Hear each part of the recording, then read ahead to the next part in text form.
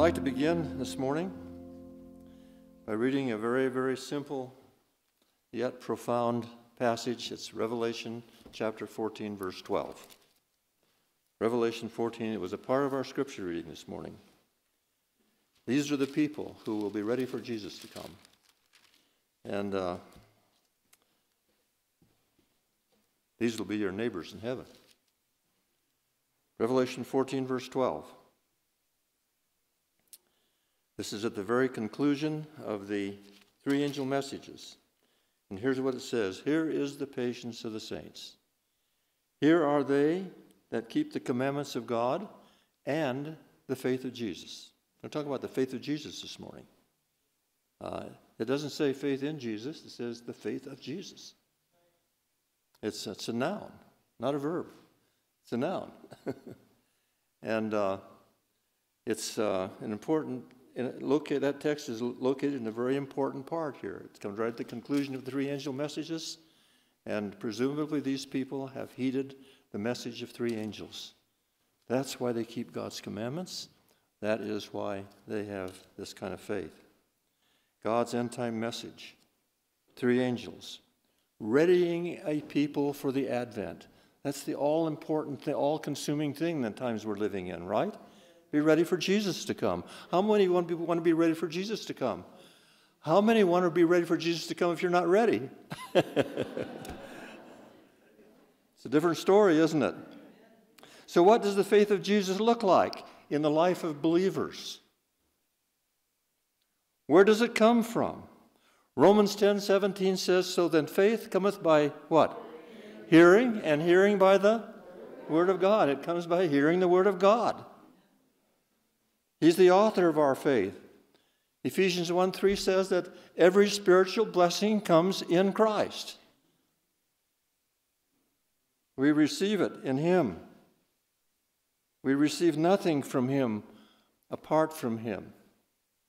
That, that's really kind of separated from Him. We receive those blessings in Him, not from Him. Otherwise, we go off and do our thing. But we receive them in, and we're saved in the person of another. That's an important idea, I think. In him, that expression is used again and again in the writings of Paul. The personal faith of, of these end time believers is called the faith of Jesus. Faith of Jesus. It was the personal connection that Jesus had with his Father that God wants us to have as well. That faith was renewed every morning afresh as he meditated upon the character of his father. And as a result, he wants to share it with us. Jesus didn't even need an alarm clock in the morning. Uh, this was in our Sabbath school lesson this week. I, it's just a coincidence. I don't think there are any coincidences, though. Or, do you think so? Isaiah chapter 50, verse 12. I'm sorry, verses 4 and 5. Isaiah 50, verses 4 and 5. Let's look at it. It says, The Lord hath given me the tongue of the learned, that I should know how to speak a word in season to him that is weary. He waketh me morning by morning. He waketh mine ear to hear as the learned. The Lord hath opened mine ear. And I was not, what does the next word say? I was not rebellious. This is a messianic prophecy. He had such a communion with his Father that he was not rebellious, neither turned away back. Why was Jesus not rebellious? Because his eyes and ears were tuned to the Father. Jesus learned to know the Father as a result. And it was a, it was a painful process for Jesus. Um, Hebrews chapter 5, verses 8 and 9. Hebrews chapter 5, verses 8 and 9. And notice the pathos, in, as, as the writer Paul talks about this. It says, Though he were a son, capital S O N, yet he learned obedience by the things which he, what does it say? Suffered. He learned obedience by the things he suffered. And being made perfect, he became the author of eternal salvation unto all them that obey him. So obedience is the opposite of rebellion. Jesus learned to know the Father as we can all learn to know him. He knew him and he loved him. To know him is to love him. He never stumbled into rebellion because he knew the Father. This was not an easy pathway for Jesus in a world of rebellion. All around him was rebellion. Actually, it was midnight, spiritually, in the history of the world when Jesus appeared on the scene. Uh, we're approaching that kind of a time again, by the way. When Jesus comes, it'll be like midnight again, like midnight darkness, and we can quickly see the clouds of darkness beginning to cover the earth. Why was it not easy road for Jesus? Because his connection with his Father and the Holy Spirit bore fruits in his life, fruits of righteousness in a world of rebellion. Righteousness rubbed against the rebellion in the world that was in the world in that day. Rebellion cannot stand in the presence of righteousness. And those fruits of righteousness were so unique and fresh and full of love that they got him into lots of trouble. Almost every day. I think we could probably say every day as you read the Gospels. Often they sought out to kill him. They tried to seek him out and kill him, right? And he got into lots of trouble. And when the test came, Jesus survived that supreme temptation because of that faith connection that he had had with his Father heretofore. See him there in the Garden of Gethsemane as his fingers clutch into the dirt, and, he, and, and, it, and, it, and it's, a, it's a scene of, of, of pathos and, and um, extreme sorrow. And uh, the reason he was to, able to go through that awful hour was because of the, of the connection that he had with his father, the relationship he had with his father heretofore, beforehand. Does that say something to us at all? The final test came in the Garden of Gethsemane. He said, Not my will, but what? Thy will be done. Jesus was, as always, was perfectly willing to be in harmony with the will of his Father, in that he was obedient even unto death, the death of the cross. Jesus promised in the covenant that he would forgive every repentant sinner. Wow, that's me. And that's all of us here today, and that's the whole world of people. That's 60 centuries of earth people. He promised the human family that he would forgive every repentant sinner. And he looked down the centuries, and his heart was tender toward us too. I believe he saw us sitting here this morning and the needs that we have. Notice how the Bible describes his unselfish obedience to the covenant. Actually, the covenant is everything. Um, none of us are saved apart from the covenant, by the way. But Jesus made a promise to us. It's found in Philippians chapter 3. Sorry, chapter 2. Philippians chapter 2, verses 7 to 9.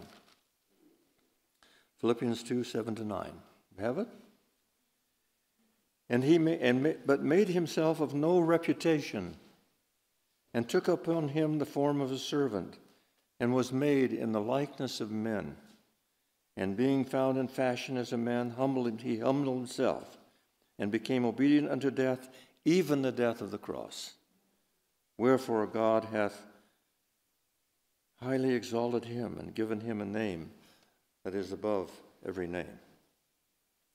He was obedient to the Father's law because he knew the Father. And to know the Father as he did is to love him like he did.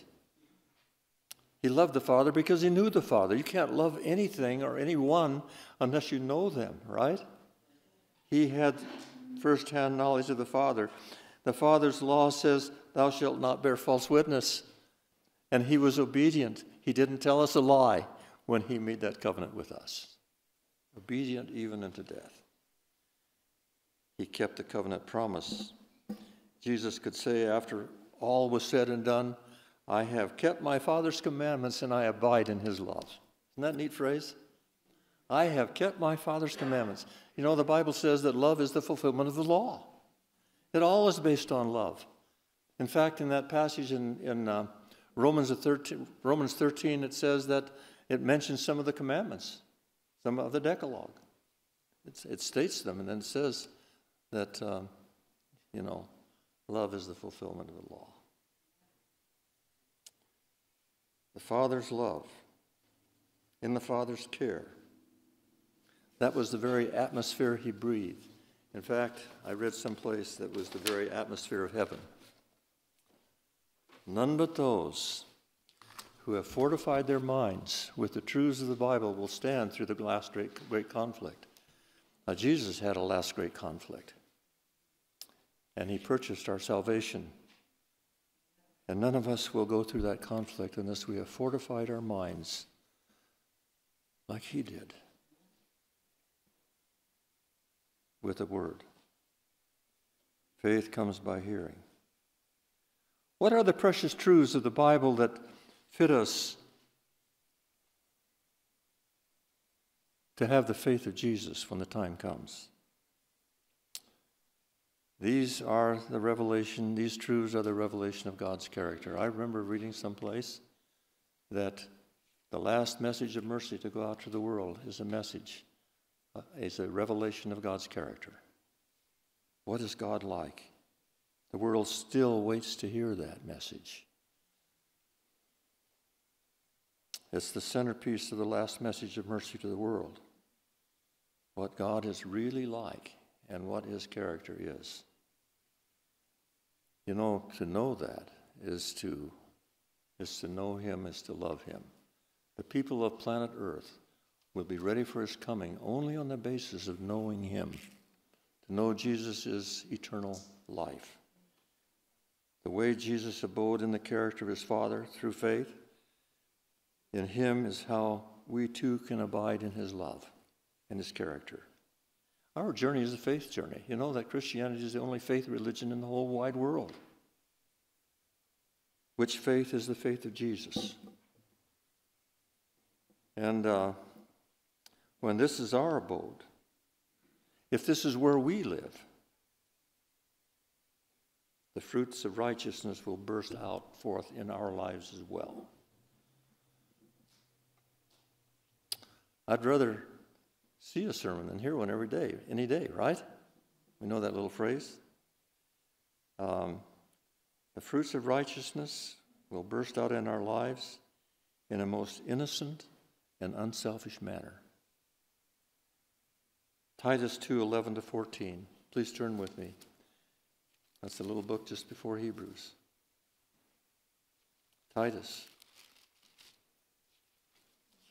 chapter 2. This is a, is a very interesting little passage. It says, starting with verse 11, Titus 2, starting with verse 11, just a little book. As you're making your way through the Bible here, if you blink, you'll miss it. Titus 2, verse 11. I want to read down through verse 14. It says, For the grace of God that bringeth salvation. Let me ask you a question. What is the grace of God that brings salvation? The gospel, isn't it? The gospel. Grace is the sheer, unadulterated mercy of God. So, the, for the grace of God that brings salvation, that is the gospel, has appeared to how many people? All men. All men. Everyone has a chance. Somewhere in their life, there is a voice that speaks to them. Uh, and sometimes he uses people to carry that voice, right? teaching us. What does the gospel teach us now? Denying ungodliness and worldly lust, we should live soberly, righteously, and godly in this present world. Looking for that blessed hope and the glorious appearing of the great God and our Savior Jesus Christ, who gave himself for us that he might redeem us from all iniquity. How much iniquity? All, all iniquity. And purify unto himself a peculiar people, zealous of good works. Jesus is looking for a portrait in us. Have you read that before? Yeah. These ideas are, are really encased in the fruits of the Spirit love, joy, peace. That's what your neighbors will look like in heaven. This is how we witness to others. These kinds of people will be your neighbors. For they also will abide in God's love because of faith, because of the faith of Jesus. The characters of true believers will be more and more match the life of Jesus as we go along. Sanctification is the work of a what? A lifetime, every day, learning to know Him better, surveying His character, and then we'll fall in love with Him. We need to fall in love with Jesus, right? It's possible, I believe, to spend so much time telling people how they ought to live, picking fruit, if you will, in the congregation. Spend so much time doing that that we don't that we don't have time to look to Jesus and know him. But the end result of knowing Jesus is simply this.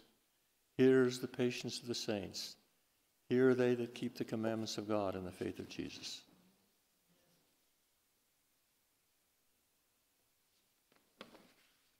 These dear ones keep God's commandments obediently from the heart, because love is a thing of the heart that has been reached for by the hand of faith.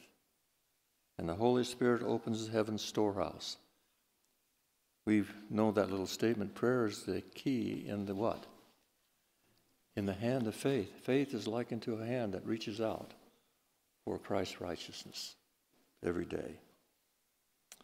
These dear ones have been slaves to God's word, and as a result, they are God's friends, reflectors of his character of love.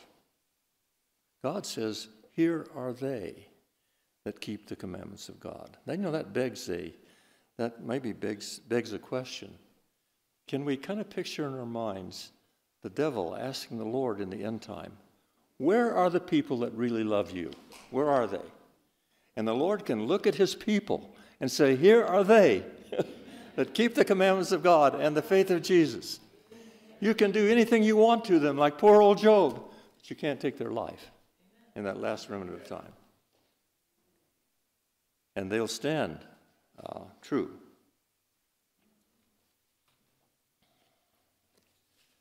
Faith and works are cause and effect.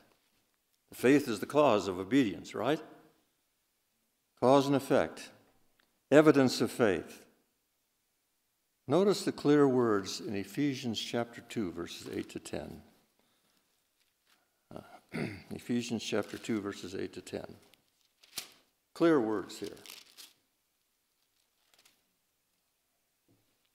Ephesians 2, verses 8 to 10. It says,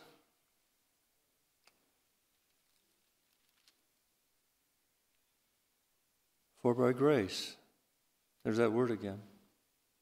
For by grace are you saved through faith. And not, not of yourselves, it is a what? Is a gift. God gives us gifts, rich gifts. Not of works, lest any man should boast. Now I can understand that, can't you? We can understand that. Not of works. We don't gain acceptance by God by our good living, our, our good, by, by being good livers. Morris Venden used that expression. Good livers. okay. That's not how we gain acceptance with God. But notice verse 10 For we are his workmanship, created in Christ Jesus unto good works. Works are a fruit of our faith, right? They're the fruit of our giving our hearts to Jesus every day and, and, and living in him. There will be good works. If there's not good works, isn't evidence that we don't know Jesus, right? These are clear words. So I want to talk about these four elements here for a moment grace, the unfettered, raw love of God for us. It's the source of our, all of our, of, our, uh, of our hopes and joys. Grace is the source. God's grace is the source of all true heart religion. It proceeds from God's heart to our hearts by the Holy Spirit's work. The second one is faith. Faith is the method. Now, grace is the source, right? It comes from the heart of God. Faith is the method. Faith is the hand. Prayer is the hand that reaches forth and takes hold of God's righteousness. Faith is the method. It's like the hand that reaches out to God and opens heaven's storehouse. Spirit of prophecy says prayer is the key in the hand of faith. that unlocks the storehouse of heaven. This is the principle that was behind the obedient life of Jesus.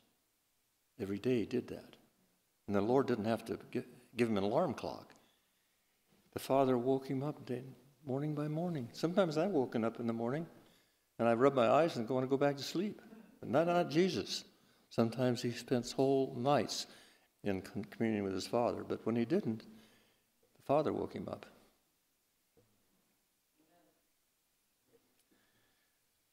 The third element in this salvation process is the gospel. God gives grace.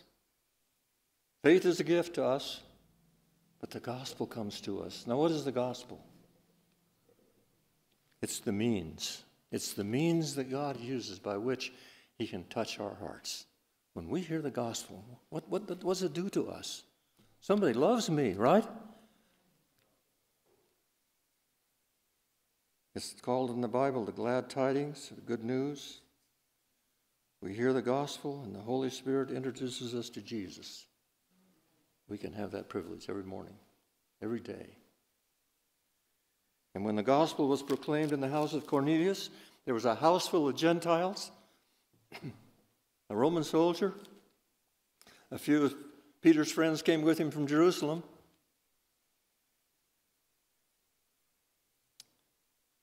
And uh, as they responded to the gospel, the gospel, remember, is the means. As they responded to the gospel, the Holy Spirit was poured out of all, all of them. It's, the Bible says all of them. Amazing to me. You know, sometimes we struggle as we try to introduce Jesus to people. There are a lot of preconceived ideas out there. Somebody said in the Sabbath school class this morning, I'd rather somebody didn't know anything sometimes. And just hear the pure words of truth for the very first time, like having a clean white piece of paper and writing for the very first time, right? You don't have a lot of, uh, you know, all of us have a lot of bag- baggage, really, don't we? I know in my life I've had to unlearn a lot of things and had to learn a lot of things. I'm still unlearning things. But um, this becomes more and more important to us as time goes on. The power comes by way of the Holy Spirit. Acts 1.8 talks about, about the power. They'd just been asking when are you going to set up your kingdom? He said, all power is given. I want you to go tell people about the kingdom. It's not important that we know the exact day he's coming. It's kind of a little light rebuke to the disciples that day. But the power resides in the gospel. It's the means. Let's look at it. Romans chapter 1, verses 16 and 17. Romans 1, 16 and 17.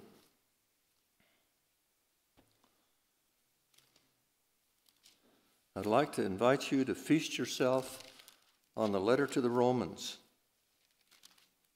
Every one of these letters fills a need that that church had. The Galatians had a need, right? The Roman church had a need, and their need was to hear the gospel. I think they were beginning to go on a kind of a works program on the Lord, right? Notice what it says here, verse 16. For I am not ashamed of the gospel of Christ, for it is the power of God unto salvation to everyone that believeth, to the Jew first and also to the Greek. For therein, that's an important word in this passage. For therein, where's the, where's the in? In the gospel. He's been talking about the gospel, right? For therein is the righteousness of God revealed from faith to faith, as is written, the just shall live by faith. Now, that's the passage that uh, borrowed from Habakkuk, I think, 2, 4, 2 verse 4. I see Steve going like this. I'm kind of looking to him for a minute. that passage is really rendered the just shall live by their hanging on. Hanging on onto what? hanging on to Jesus. This is a faith walk, right? Hanging on to Jesus. It's the gospel that inspires and teaches us to love God. It's the gospel that teaches us the life of Christ, how more and more every day we can be like Jesus. The Bible says that we are saved by his life as well as his death. He lived a perfect life. We call that the righteousness of Christ. And it was developed in our organism for, for 30 years, 33 years, as he daily gave his life to the Father.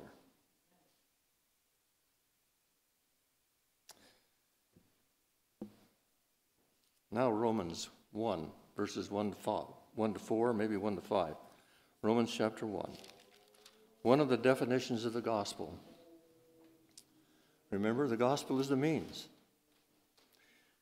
Grace is the source, faith is the method, the hand that reaches out to God. The gospel is the means. Let's notice it here. Paul, a servant of Jesus Christ. This is verse 1, Romans 1, verse 1. Paul, a servant of Jesus Christ, called to be an apostle, separated unto the gospel of God, which he had promised afore by his prophets in the Holy Scriptures, concerning, and he's talking about the gospel, the, the subject here is the gospel. And then it says, concerning his son Jesus Christ our Lord. I read someplace in some inspired writings that uh, hanging on the cross, Jesus is the gospel. He's the good news, right? Concerning his Son, Jesus Christ our Lord, which was made according to seed of David, according to the flesh, and declared to be the Son of God with power, according to the Spirit of holiness, by the resurrection of the dead, by whom we have received grace and apostleship for obedience to the faith among all nations for his name. That's the gospel. It's the message concerning Jesus, his death, his burial, resurrection. If you want to read a really good uh, definition, of the, definition of the gospel, it's in 1 Corinthians chapter 15, verses 1 to 4. 1 Corinthians 15, verses 1 to 4. We won't have time to turn there, but it, uh, it defines the gospel very succinctly. This is the means by which we have salvation. The Holy Spirit always powerfully points us to Jesus, who is the gospel. I'd like to have us turn to John chapter 16, where it's talking about the Holy Spirit and his role in this, in this uh, development of faith for us. Starting with verse 15. This is John 16, verse 15. 13, I'm sorry. 13 to 15. John 16, verse 13. Howbeit, when he, the Spirit of truth, is come, he will guide you into all truth. He will he shall not speak of himself, but whatsoever he shall hear, that shall he speak. He will show you things to come. He will glorify me. What is the Holy Spirit's work? To show us Jesus. Okay. He will glorify me, for he will, he will shall receive of mine and shall show it to you. He's the great shower. The Holy Spirit is the great shower. This is his role in the plan of salvation, to show us Jesus. Shows us Jesus, we'll have faith. All things that, that the Father hath are mine. This is verse 15. Therefore said I, He shall take of mine, and he will do what? Show it to you. He's the great shower. Amazing, amazing things. The fourth link in this salvation idea, remember, grace is the source, comes from God's heart. Faith is the means, a method, I'm sorry, the method by which we lay hold of Christ. The gospel is the means. Now the fourth leg of this, of this uh, chair is our lives are the evidence. You know, the Bible says that we're saved by grace through faith, right? But we're judged by what? Works. How can that be? Simply because there will be evidence in the life of the believer. And the Lord looks at the evidence. He knows that we have faith in Jesus when He sees the evidence in our lives. The evidence of the gospel has taken root in our, in our heart, and it, is, and it is the life we live. It's the fruit of faith of Jesus, the fruit, fruit of the faith of Jesus, the precious fruit. You know, Jesus looks for the precious fruit. I want to encourage you today. First of all, spend some time with Jesus and His Word every day and develop a prayer life. Develop a prayer life. This is our response to Him. It's not a works program, it's our response to Him. Uh, and uh, sometimes we might not feel like we're very willing to do that. So maybe we need to ask, our, ask the Lord, Lord, make us willing to be willing. To develop a prayer life, you'll get fresh glimpses of Jesus as you abide in His Word. That's the secret of the faith of Jesus, the faith of Jesus.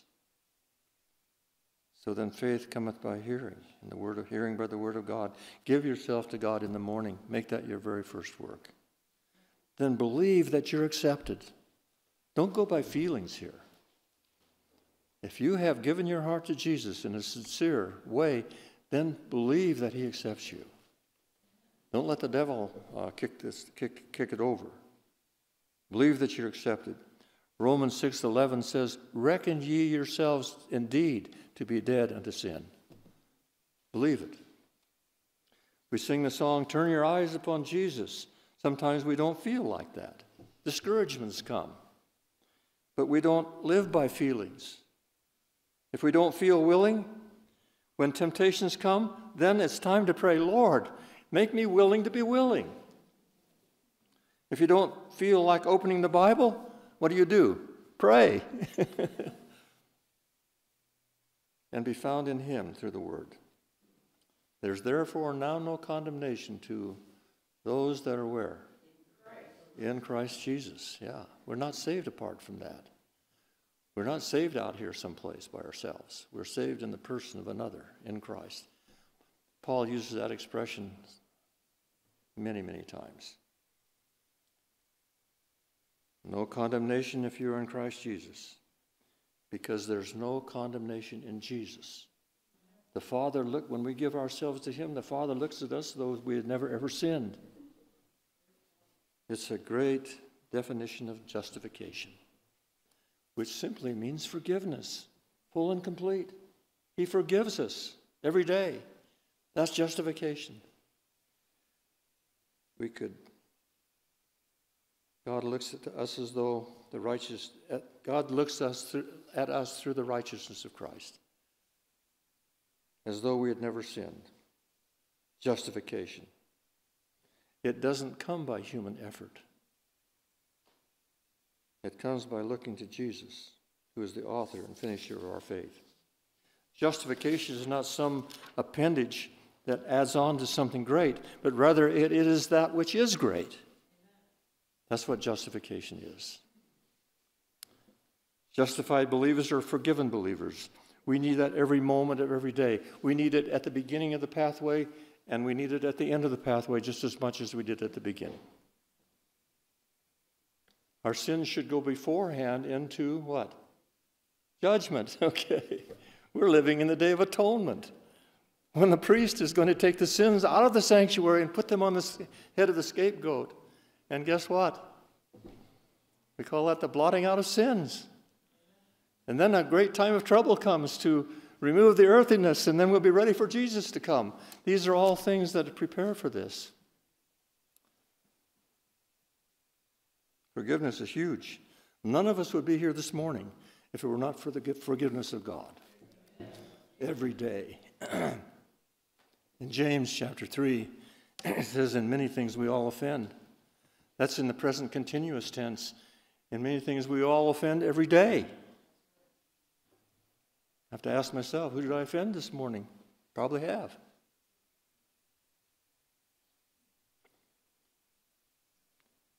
Justification, forgiveness is like a rainbow hovering over our heads. And under that rainbow promise, we have the privilege of growing into Christ as we learn of Him from His Word every day.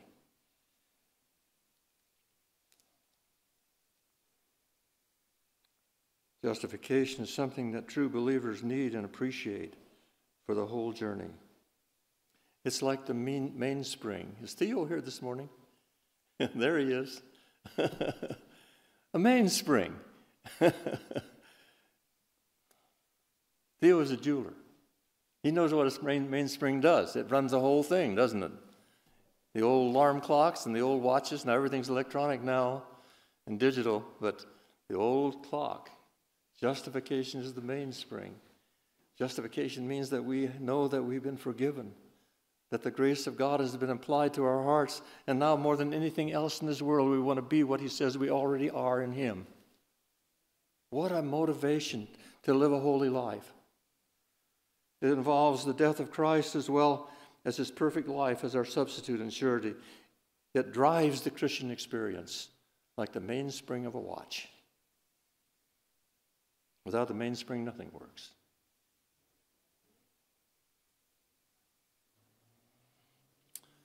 Spirit of Prophecy has written that justification by faith is the third angel's message in verity. I wonder why she didn't say justification by faith is, or sanctification by faith is our is the third angel's message in verity. Why didn't she say that? She didn't say it that way. Justification by faith is the third angel's message in verity. You can't put the, the cart before the horse. Justification is the primary thing. It's the big thing. It's that which is truly great in the Christian experience because the sinners feel forgiven. And uh, you can't, uh, and then, and then sanctification is the fruit of all of that.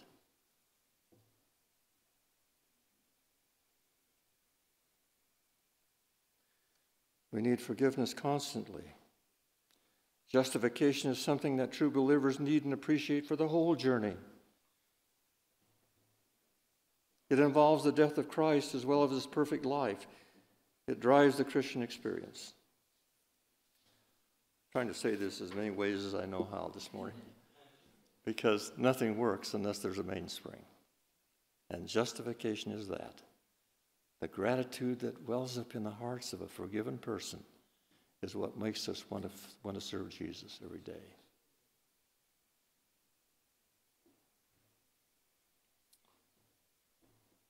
Sanctification is never complete in this life, but justification is. Because Jesus is full and complete. The great error that Luther fought so hard against, so, so boldly, even to the death for him, he almost died a couple of times was uh, that the church in the medieval times was teaching that sanctification and justification were kind of blended together. That's a terrible evil. In fact, it's the heartbeat of the, of the Antichrist that sanctification and justification are the same thing. They must not be confused, and they must, and they, and must not be mixed up nor can they be separated because one is the fruit of the other one. It's like two oars of a boat.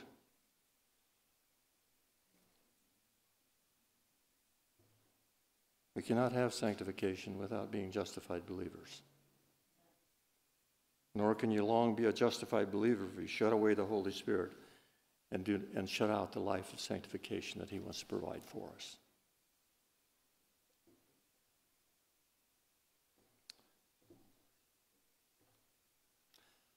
Justification by faith. Great controversy says justification by faith, which Martin Luther taught so clearly. A number of years ago, I set out on a journey searching the penned words of Martin Luther to find out what he taught so clearly. I think it's good to go to the source of things, don't you think so? Lo, I found such a universe of spiritual love and acceptance uh, that I could hardly contain it. No wonder that justification by faith is the third angel's message in verity. This is what we have to share with the world forgiveness. There's a world out there that is, is dying of guilt. Paul got it directly from Jesus, and Luther got it from Paul. And uh, it's so wonderfully stated. Many words of Paul that uh, have been a mystery to me now have made me uh, have see it as perfect sense. Those who keep God's commandments in the faith of Jesus are justified believers by the grace of God. They have been declared righteous before the law of God because of Christ's life and his death. We owe everything to him. Nothing in my hand I bring. Simply to his what? Cross I cling. That's where the power is. We could read some more texts about that Uh, and the cross is the, where the power of God is. Uh, 1 Corinthians 1.18. But my time is gone. I've got about 25 pages left. You want to hear those? I've done, I've done three. No. no, we need to draw this to a close. But I want to just say this. There may be someone here today who has not given your heart to Jesus in a meaningful way and been forgiven and are justified and have the joy of the Lord in your mind. There may be somebody like that here today. Don't prolong that decision. Then seal that decision by be prepared, be, being prepared to be baptized. That's the seal of that decision. This is God's way. And having this seal, the Lord knows them are those that are His. All this rests on the faith of Jesus. Dear Father in heaven, our prayer this morning is that each of us develop within our hearts the faith of Jesus. We know this is our only way out of this world alive. And uh, you have made it so plain in your word. So I pray this morning that you'll be with each person here, that each person will receive a blessing, a unique blessing that each one needs. Make us ready, Lord, for your coming. And I pray it in Jesus' name. Amen.